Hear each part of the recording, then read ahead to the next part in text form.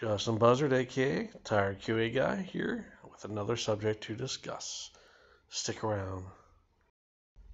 Another acronym you might encounter is a nonconformance report. It could also be a corrective action report, an external corrective action report. You could see different things NCR, ECAR, CAR, but the whole idea behind it is a report that documents a nonconformance that has occurred in the workplace. Uh, it could be internal, it could be external.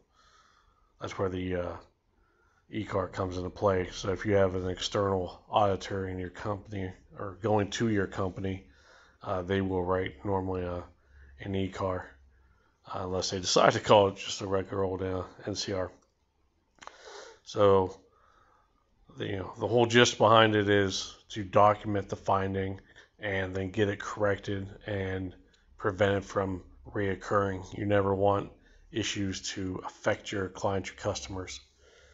So work internally to fix all that and then either the internal and or the external auditors will verify that the actions that were uh, put into the plan or report work.